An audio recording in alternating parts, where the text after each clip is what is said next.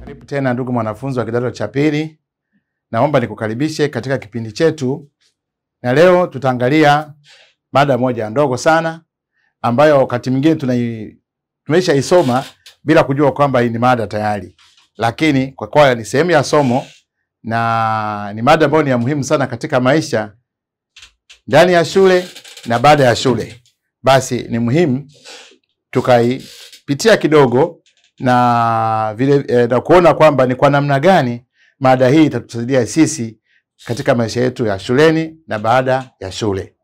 Mada yetu ni usimulizi, na mada ndogo ni usimulizi wa habari. Pengine mwanafunzi, unaposikia neno habari unaanza kushangaa. Tumezoea tunapokuwa nyumbani, tunasikia kwenye vipindi au kwenye redio, kwenye runinga, wanasema hivi sasa ni saa mbili kamili na ifuatayo ni taarifa ya habari. Mtu anaweza kujiuliza taarifa alafu ya habari ndiyo nini? Hapa wapaswa kufahamu vitu hivi kwamba habari ni nini. Anaposema taarifa halafu ya habari, maana yake ni ufikishaji wa habari. Ufikishaji wa habari, habari kitu gani? Ni matukio ama visa. Hii ndio maana ya habari, na neno lenyewe usimlizi ni hali ama kitendo cha kufikisha ama kusimulia yaliyotokea. Hii ndio maana ya usimulizi wa habari. Kwa hiyo mada yetu ni usimlizi na mada ndogo usimlizi wa habari. Kama maana nilivyosema, usimulizi ni hali ama kitendo cha kutoa masimulizi juu ya jambo fulani. Kama nilivyosema, habari ni tukio, kisa ama maelezo ya jambo fulani. Kwa sababu mada yetu ni kusimulia, na si lengo la kipindi hiki ni kusimulia habari, hapana, ila wewe utaulizwa usimulie tukio ama habari uliyoiona ama kuisikia. Jambo la msingi katika, ma, eh, katika kipindi hiki cha leo ni kukufahamisha wewe na kukuelekeza mambo ya muhimu unayopaswa kuyajua wakati unasimulia habari, na mambo haya ni ya muhimu sana ili kuweza wewe kupata nafasi ya kuwa msimulizi mzuri na ujumbe ukafika kwa wale unaowasimulia. Hapa nimeorodhesha mambo kadhaa, yapo mambo kama manane.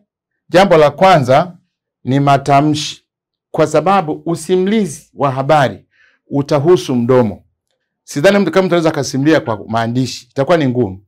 Mara nyingi tunasimulia matukio kwa kutumia midomo yetu. Sasa kama, kama tunatumia midomo yetu, basi tunatamka maneno, na kama matamshi yetu hayatakuwa mazuri, basi moja kwa moja wanaotusikiliza watashindwa kutuelewa. Chukulia mfano kipindi hiki ambacho unakitazama sasa hivi. Mimi nayezungumza hapa, kama nitashindwa kutamka maneno vizuri, ninaamini hutakipata kile ambacho nimekusudia kikufikie. Vivyo hivyo, nawe utakapokuwa unasimulia utalazimika kuzingatia matamshi. Kwa hiyo jambo la kwanza ni matamshi. Msimulizi hana budi kutamka maneno kwa kuzingatia lafudhi sahihi ya Kiswahili. Uyatamke maneno vizuri kabisa ukizingatia lafudhi yetu ya Kiswahili bila kusahau kiimbo, kwa sababu kiimbo kina mambo, mambo, manne ya msingi tunaweza kutumia kama tunauliza swali, kama tunashangaa, ama tunapoonyesha msisitizo ama kutoa maelezo. Kwa hiyo ukizingatia kipengele hiki, basi masimulizi yako yatakuwa na mvuto na yatafikisha ujumbe kwa uzito ule ule ambao mwenyewe unataka uwafikie wasikilizaji wako. Jambo la pili ni mpangilio mzuri wa mawazo. Mpangilio mzuri wa mawazo. Sasa tunasimulia tukio, hebu twende na mfano mzuri wa tukio lenyewe. Tuseme labda tukio ni wizi. Tukio la wizi utakapokuwa unalisimulia, lazima mpangilio mzuri utakuwaje? Wezi kuiba kwanza halafu ndio wafike, ama wafike kwanza ndio waibe? Kwa sababu utamchanganya msikilizaji. Kama mwizi ataiba aondoke, halafu ndio aje uje utaje kufika kwake, Ko, utaanza na kuwasili kwa mwizi, tendo alilolifanya na matokeo aliyofuata. Basi huu ndio mpangilio mzuri wa mawazo katika usimulizi wako. Jambo la tatu, uhakika wa yale yanayosimuliwa. Usimulizi mzuri ni ule ambao msimulizi ana uhakika na kile anachokisimulia, na msimulizi mzuri kama watukio aliosema la wizi ni yule ambaye alikuwepo ama ameshuhudia utendekaji wa tukio hilo. Kama atakuwa amesimuliwa, basi kutakuwa na mwanya au mianya ya kufanya yeye asiweze kusimulia vizuri, kwa maana hatakuwa na uhakika wa asilimia mia wa yale anayowasimulia. Kwa hiyo msimulizi wa habari ama tukio anapaswa kuwa na uhakika wa yale anayoyasimulia. Jambo la nne ni kutumia lugha fasaha. Lugha fasaha ni ambayo inazingatia sarufi ya lugha, kwa maana msamiati sahihi, tamshi sahihi, maana iliyobebwa na maana maneno yale iende vizuri.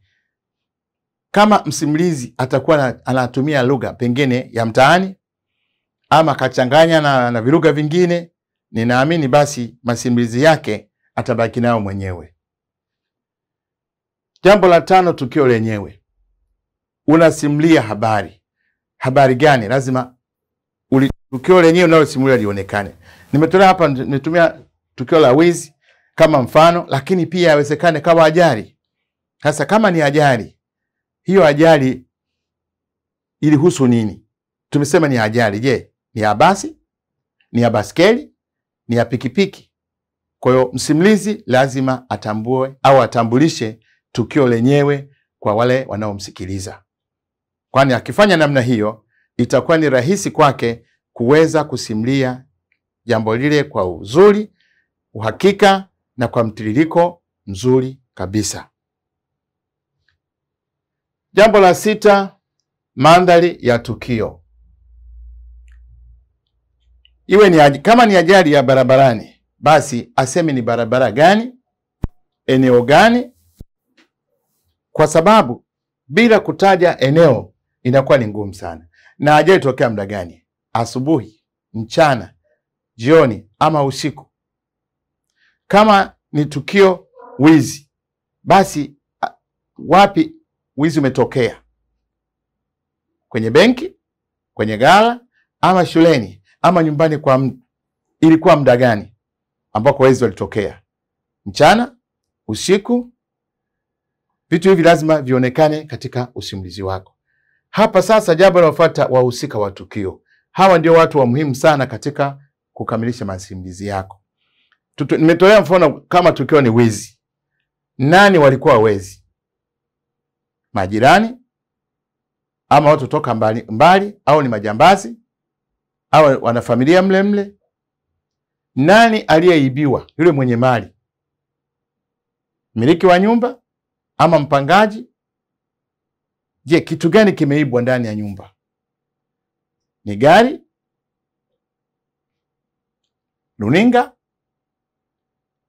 ama vifaa vingine vya ndani? Kwa hiyo lazima msimulizi azingatie vitu hivi, aweze kuviorodhesha kwamba wezi mnamo saa fulani au siku fulani itokea tukio hili, ilikuwa ilikuwa hivi ikaenda hivi ikaenda hivi, lazima tataja. Kwa hiyo ni vitu vya msingi sana katika kuvizingatia unaposimulia tukio ama habari. Jambo la nane ni nyakati ama njeo. Tunaamini tukio, huwezi ukasimulia tukio lijalo, maana hiyo sasa haitakuwa tukio, huo utakuwa ni ubashiri. Na mada yetu inasema usimulizi juu ya jambo lililotokea. Kwa hiyo hapa tunasimulia mambo yaliyopita. Kwa vyote vile, msimlizi atatumia wakati uliopo ama unaoendelea na wakati uliopita, na kwa sababu matukio haya yeye anasimulia sasa hivi. Kwa mfano, tukio lilifanyika jana, kwa kama lilifanyika jana, basi kutakuwa na mambo ya kuchanganya njeo. Atatumia wakati uliopita, atumia wakati uliopo na unaoendelea, kwa maana kwamba mambo yalikuwa hivi na sasa hivi yanafanyika hivi. Kwa mfano, wezi waliingia, walivyoiba, wenye mali wamefuatilia au wakafuatilia, kisha wakawakamata na kuwaleta polisi, na sasa wanahojiwa. unaona vokwenda sasa. Kwa hiyo nyakati zitakuwepo, lazima msimulizi anga Itakuwa ni